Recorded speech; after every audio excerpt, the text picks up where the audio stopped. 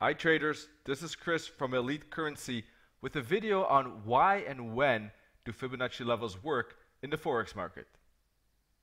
Before watching this video, please be aware of the risks involved in trading for exchange and take a look and pause this to read the entire disclaimer or take a look at our disclaimer on the website elitecurrensea.com slash risk disclaimer.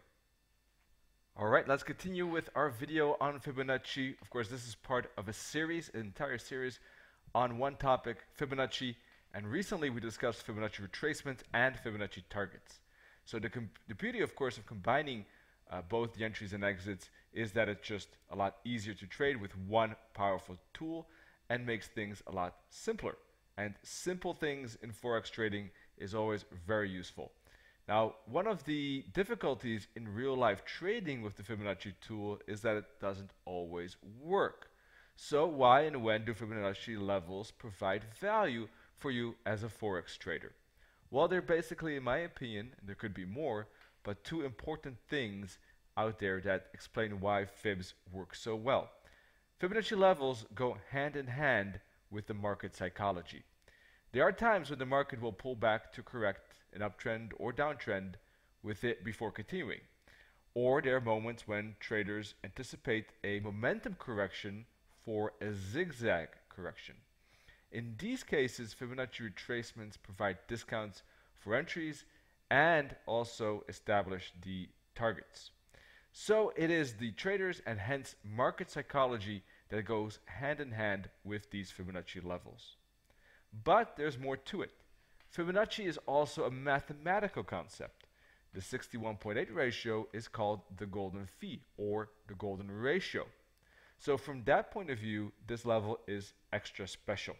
And some uh, famous uh, people, Kepler, called it the one of the jewels of geometry. It's been called the divine proportion and also just the letter phi. So obviously it is an important level uh, to, to reckon with uh, and uh, therefore we need to know about it. The importance of the fibs is specifically uh, valuable when there is a trend going on. In a trending mode, most Fibonacci levels will hold and provide solid entries. And here you can see an example of that on the pound dollar in uh, recent weeks. And you can see eight times in a row the Fibonacci levels working very neatly to give a bounce for further upside. Of course, that only happens when the market is trending. That is the trick kind of to keep an eye on when the tool is working. Now there are certain moments where price will not do this, uh, you know, work as well as uh, as with the Fibonacci as here with the trend. And those, of course, moments are consolidations, corrections, ranges, and sideways moves. Because then the Fibonacci levels are mostly ignored, not always, but most of the time, and price is more responsive to different levels like bottoms and tops. So in, in that regard, uh, we need a trend or momentum. Momentum is just as valid. Not only a trend is important, but momentum, strong price movement in one direction, that too is also a mo moment and environment where price respects uh, the Fibonacci level. So once again, to summarize, Fibs work best in trending markets, momentum moves, and not well in ranges. And you can see here an example of a range where price is just chopping to the sideways, you know, going nowhere, no steam forward or downward. And you can see that the Fibonacci levels, the bottoms and the tops, are consistently broken as the range is more important than the fib levels themselves. Of course, as you can imagine, defining the trend and understanding what momentum is becomes important because if we are not able to identify a range or a trend, we won't know whether to use the fib or not. So that is an important concept, trending, reversals, range, and momentum. And we need to accurately understand and uh, be able to define those different types of environments. Now, this particular topic deserves a own series, and that's what we will do once we have Fibonacci series completed and we will dive into trends and everything else that is connected to uh, to this.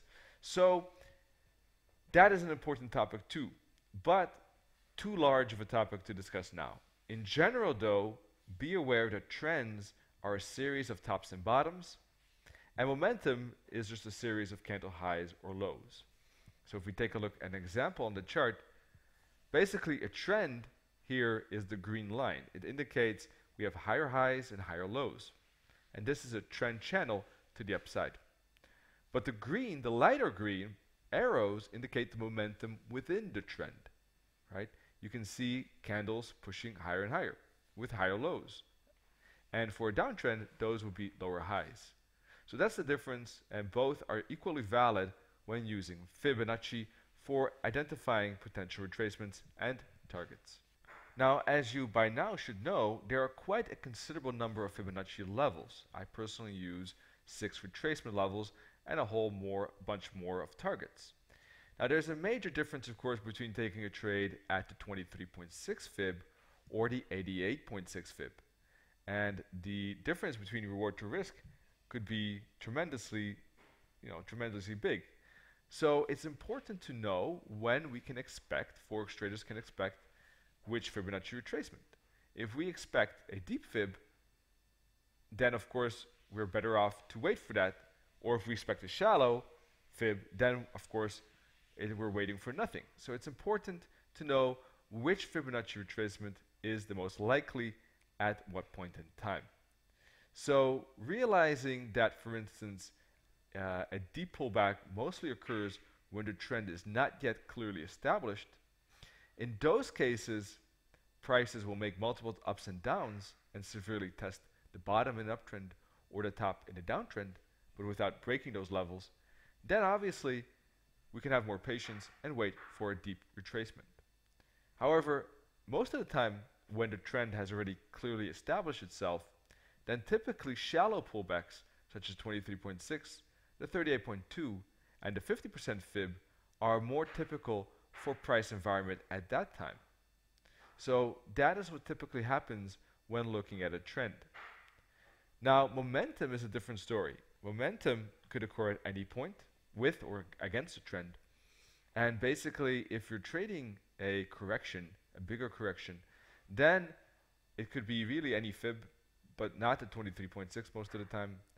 The 50 fib is quite uh, common, the 61.8 as well. If you're trading uh, basically momentum with the trend, then two, it could be any of the fibs really, um, th but even more likely perhaps the 38.2 and the 50. Now, there is confluence when using different Fibonacci levels. Let's take a look at an example on the chart here. Here you can see uh, a lot of different colors. Let me explain. First of all, we see uh, the Fibonacci level on the left is corrected very deeply, all the way down to the 78.6 fib.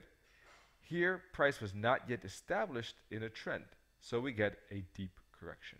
But as you can see, as we more go to the, you know, to the right side of the chart, you can see that price is retracing uh, less deeply. It's moving up and up and up. And first it retraces to the 61.8, then to the 50, then to the 38.2 fib. Now it doesn't have to be always that accurately that it moves up one fib, it's coincidence. But, or actually maybe they're twice 61.8, but typically shallower fibs will occur more often as the trend uh, matures and, and pushes to higher levels until, of course, perhaps a bigger retracement occurs.